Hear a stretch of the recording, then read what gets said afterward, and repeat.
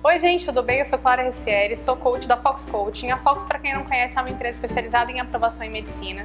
E hoje eu vim trazer esse vídeo para vocês. Muita gente me pede nos comentários uma explicação mais clara do mapa mental, um exemplo. E eu sei que muitos de vocês que estão assistindo esse vídeo assistem aulas online, procuram né, videoaulas, utilizam métodos mais online para poder estudar, para poder aprender. E hoje eu vim aqui falar um pouquinho da importância de trazer é, o estudo offline mesmo, né? Muitos de vocês também procuram imagens de mapas, mapas mentais online e não é tão efetivo quanto construir o seu próprio mapa mental. Quando você constrói seu mapa mental, você consegue ter muito mais consciência daquilo que você está fazendo, a sua memorização a longo prazo melhora muito e além do mais é bem divertido, principalmente se você utiliza é, produtos tão legais quanto da linha da Estabilo Nova, da, da campanha Volta às Aulas, que tem justamente essa pegada de fazer o offline, de voltar a escrever à mão, de conseguir utilizar todos esses recursos que a linha da Estabilo traz pra gente, para poder conseguir ter o resultado que você quer nos seus estudos e ainda se divertir fazendo isso, tá? Eu vou explicar para vocês um mapa mental sobre a Guerra Fria. Vocês vão ver aí todos os produtos e também vão ver como que a gente vai distribuir todas as partes do mapa mental, tá bom? Não esquece de se inscrever no nosso canal,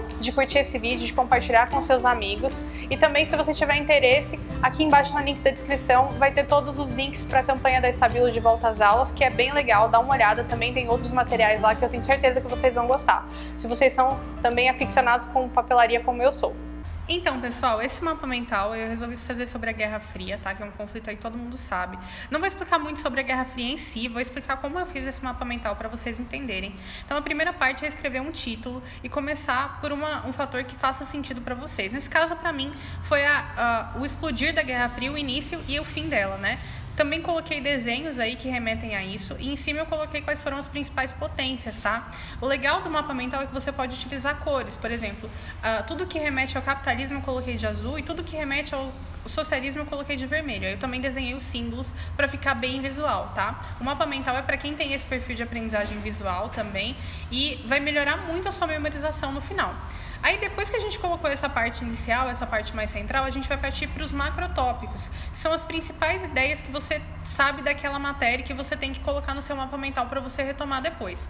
Nesse caso, a gente colocou aí as principais conferências, eu coloquei a de Bretton Woods, a de Walta e a de Potsdam, tá? Que são as conferências importantes. E como nesse caso são conferências muito singulares, muito detalhistas, né, muito particulares, não precisa fazer desenho, tá? É só você lembrar realmente o que foi cada uma delas e colocar uma atenção atenção maior.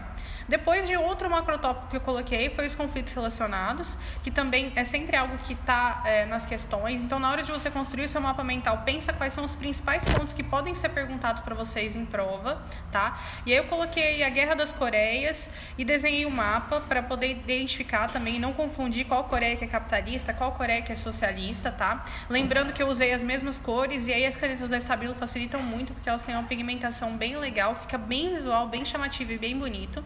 E também coloquei a Guerra do Vietnã, que foi decorrência também né, da Guerra Fria. E quanto mais é, detalhes e quanto mais particular o seu mapa mental for, né? Quanto mais só você entender o seu mapa mental, mais sentido faz. Porque quando a gente faz algo personalizado, pensado na gente, assim, pensado para nós, a nossa chance de memorização aumenta muito. Então, dessa forma que eu desenhei, que faz sentido para mim provavelmente não vai fazer tanto sentido para você. E aí um desafio legal é que vocês façam um mapa mental dessa mesma matéria, é, pensando quais são os macrotópicos e os desenhos que fazem sentido para vocês e também as anotações. Logo depois eu puxei mais um macrotópico aí, que é a crise dos mísseis, né? E aí eu coloquei quais eram as principais informações, que são os microtópicos, e também fiz um desenho aí de míssel embaixo para poder remeter. E assim que o míssil aparece para mim, eu sei que não ficou muito parecido com o míssil na verdade, mas é isso que eu falei, pessoal. O mapa, mapa mental tem que fazer sentido para você, tá? Isso é muito importante. É, o seu amigo pode não entender, sua mãe pode não entender, mas quanto mais diferente ele for, melhor para você memorizar, tá? Aí depois eu puxei mais dois macrotópicos que também é, remetem muito, né? Que são coisas importantes, que é a participação dos Estados Unidos e como que isso foi é, na Guerra Fria e também a participação da União Soviética. E dentro disso eu coloquei os microtópicos, que é a doutrina Truman, o Plano Marshall, o macartismo e a OTAN, tá? Aí eu desenhei também os, os as coisas que eu entendo que vão me ajudar a lembrar, né? Então aí eu tô desenhando uma vassourinha, que foi a Caça às Bruxas, que é uh, quando os, Estados Unidos autorizou né, a perseguição de pessoas que tivessem ideias socialistas. Então eu desenhei uma bruxinha aí voando para eu lembrar e eu tenho certeza que por eu ter feito um desenho tão particular eu nunca mais vou esquecer dessa medida. E na União Soviética é, eu também coloquei as principais coisas na mesma ordem dos Estados Unidos para poder lembrar. E por fim, eu coloquei qual foi o desfecho, que numa matéria de história sempre é importante, e uma bandeirinha branca para lembrar. É, que é o, o, final desse conflito, o final dessa, dessa guerra, tá? E quais foram as principais consequências.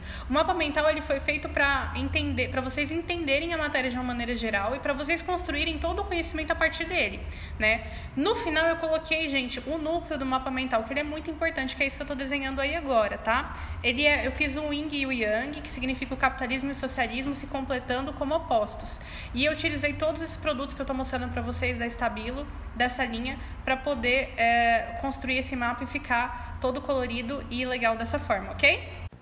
Pessoal, a Estabilo fez uma parceria com a gente, enviou esses produtos maravilhosos para mostrar para vocês também como uh, vocês podem ter possibilidades na hora de construir o seu mapa mental e como isso pode ajudar na aprendizagem memorização e também na hora de fazer, né? Porque é bem gostoso, bem prazeroso para quem gosta, para quem se adapta com essa técnica, tá? É, essas canetas são a, a Point Max, que é lançamento, né? Têm a ponta mais, mais fininha, ela é média, na verdade, vocês vão ver no, no, no, no vídeo, tá? Do mapa mental. Então tem todas essas cores aqui.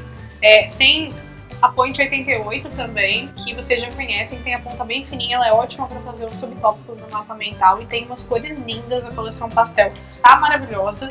E também tem os marca-textos, é, que são ótimos para colorir, destacar aquilo que é importante, que também você pode ter a possibilidade de fazer um traço mais grosso, um traço mais fino.